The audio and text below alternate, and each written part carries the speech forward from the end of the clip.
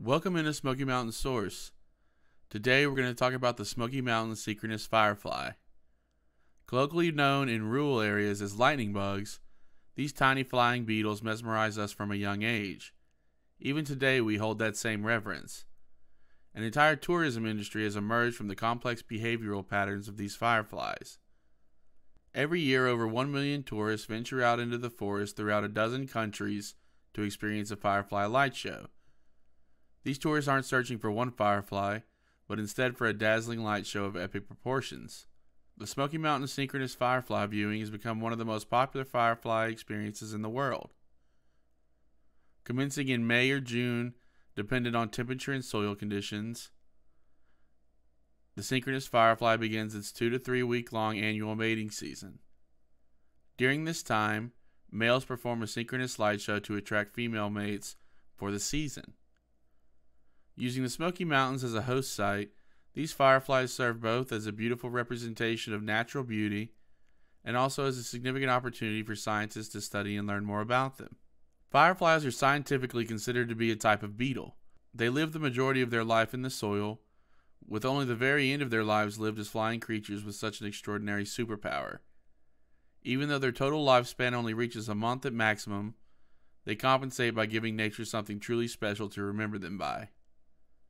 The mating flashes of these fireflies are unique to each species. However, the behavior between species seems to be similar. Males hover one meter or so above the ground and flash, while females typically stay grounded and flash in response. This mesmerizing dance leads to the female finding the right mate for her so that their species may live on and on. In coordination with the Great Smoky Mountains National Park and other entities within the Greater Smoky Mountain region, these synchronous firefly viewings are open to the public.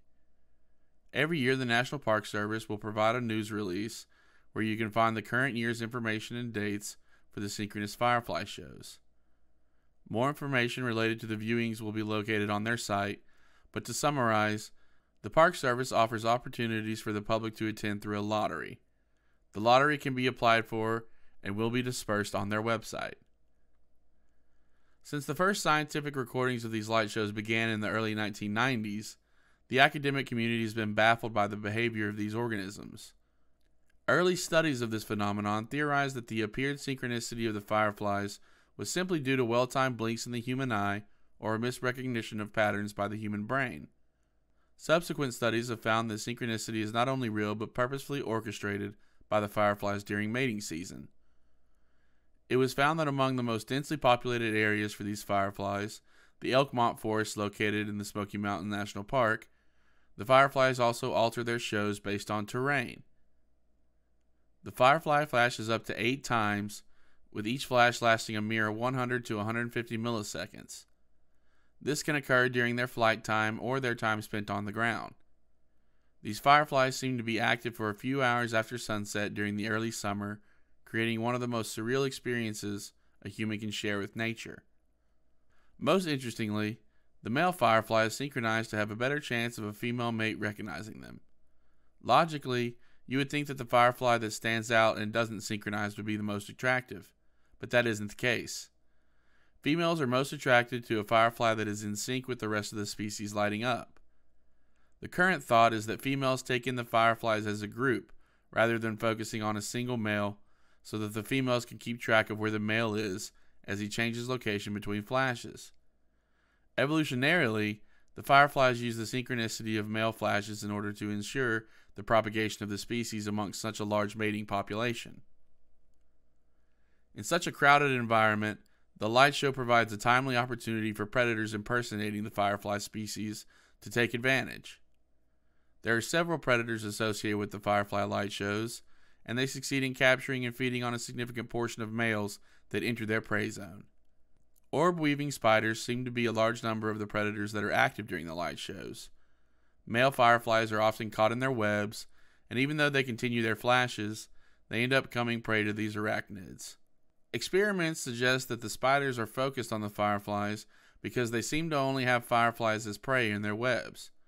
Additionally, other firefly species feed during the light shows as well as other insects. Female fireflies are also considered predators during these light shows as they feed on other species of fireflies that they find on leaves and other near ground flora.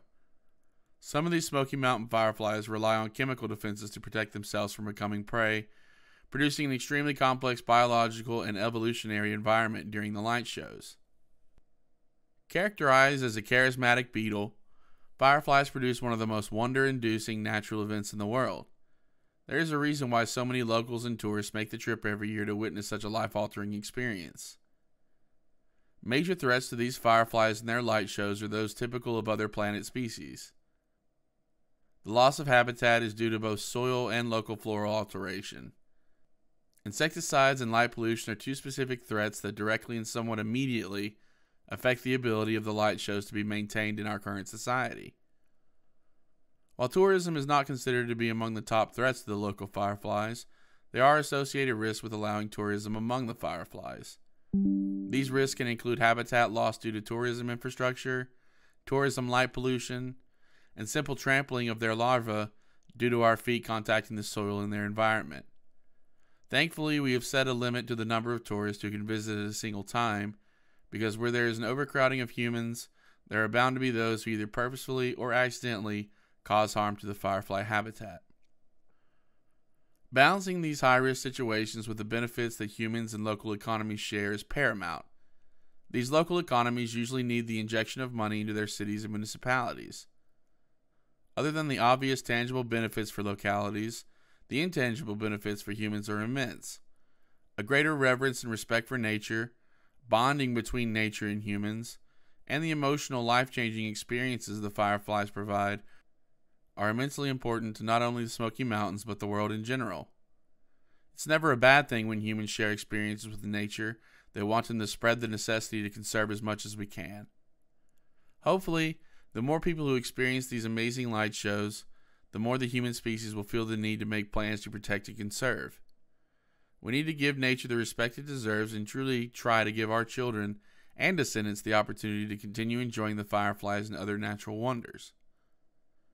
The worldwide phenomenon that is the Smoky Mountain synchronous firefly viewing is one of those natural wonders that you have to experience once in your lifetime.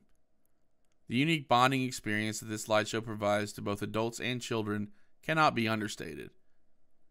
As humans, we need these events and others like them to remind us of where we came from and where we are going. They allow us to appreciate the world how many of our ancestors did. Even though tourism to these light shows has the potential to permanently damage subsequent shows, we must preserve both the experience and the nature that surrounds it. The hope is that events such as the synchronous light shows will allow humans to bond over a similar experience and push us to protect that experience forever. It can be done, not only on a local scale here in the Smoky Mountains, but all over our wondrous planet Earth.